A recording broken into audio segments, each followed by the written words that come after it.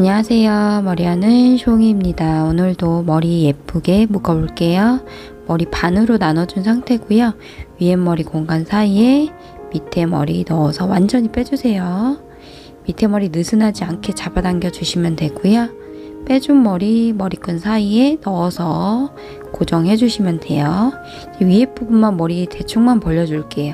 대충만 벌리고 나중에 한 번 더 벌려주시면 돼요.